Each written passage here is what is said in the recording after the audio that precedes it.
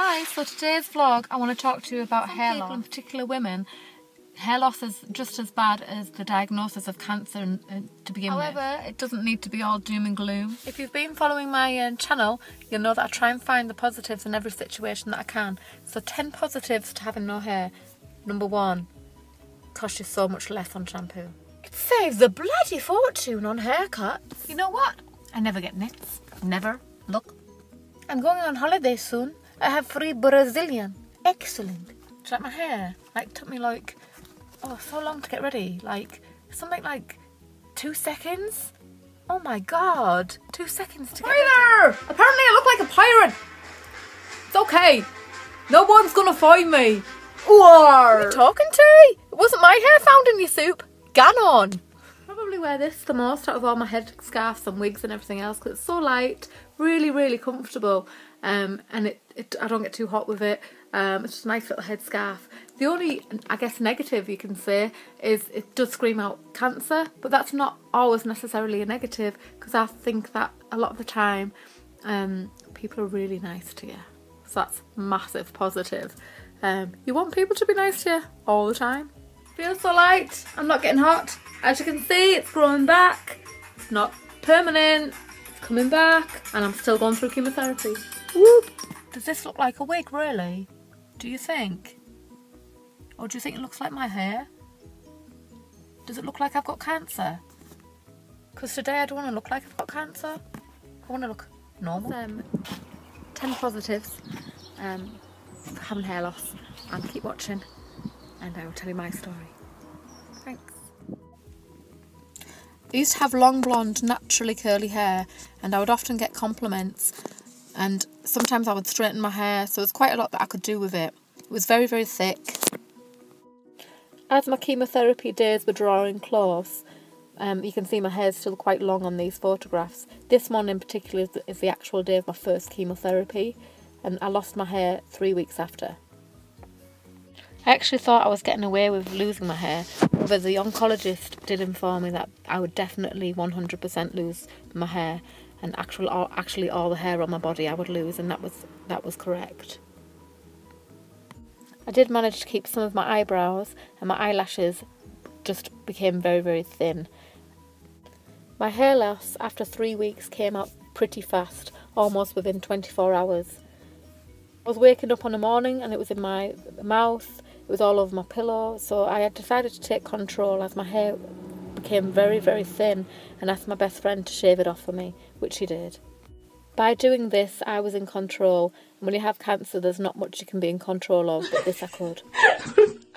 I Look how thin. She used to have the thickest hair in the world. Never mind. Soon be back. Soon be back. Look at it all come out, bless her. It just comes out like that. And now so, Sambo's here to it's gonna go cut and shave it. I don't want it to go bald with like a strand. No, you choose when it happens. You're the leader. It's your destiny. For me personally, I'm pl very pleased that I chose to, to shave my hair off because as it was falling out of my hands, it felt quite distressing and a little bit upsetting how fast it was coming out. And it was it was just getting everywhere. It was all over my house. So choosing to shave my hair off for me was a, a good option. Um, as you can see on this picture, it's quite dark. Within a, a day or so, that all came out as well. So I was completely bald. It still looked fine, and I got used to it.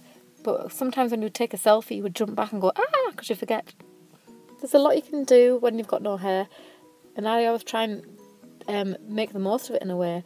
So I can ha have like different, um, there's different head pieces that you can wear, different headwear. Um, there's some really, really nice ones out there. Different hats, beanies. Um, I've got quite a few wigs, so every day I can be a different woman if you like, um, which is quite a nice thing. This one here is my main wig. Uh, they tried to match it to my hair, which they struggled with. Um, but I quite like the this one the best, I think. Um, however, my when my sister's not trying it on, they they'll they'll try try it on all the time. I think it's very very important to laugh while you're going through your chemotherapy treatment and also while you have cancer. I do think that this can in a way can be a secret to your own health and your own well-being. Getting through a worse the worst possible thing you might have to go through in your life and just trying to laugh when you can. So the instructions I said when I got my hair shaved was I don't want it to be upsetting in any way. Um, I want it to be an enjoyable experience. So my friend, my husband made sure that I laughed all the way through it, and I think that's very, very important. I found that I actually love wigs, and I've got quite a few. Hope you've enjoyed this vlog um, on hair loss. Not everybody who has chemotherapy does lose their hair, so that's very important to know. So ask your oncologist, asking a chemotherapy nurses if your chemotherapy actually does cause hair loss, because not all of them do. Um, but the ones that do, it's just basically because the chemotherapy reacts to cells that are very active, and your hair follicles are very active. So if you think about how quickly your hair grows, that's because your, your, your cells are so active. So that's why it them, if you like, and it's killing them cells, which means it's doing its job. But um, good luck, everybody who's gone through chemotherapy. I hope that you have a um, the best journey that you can have. I know that sounds horrible, but I'm going through it as well. Um, try and remain pos- as positive as you can.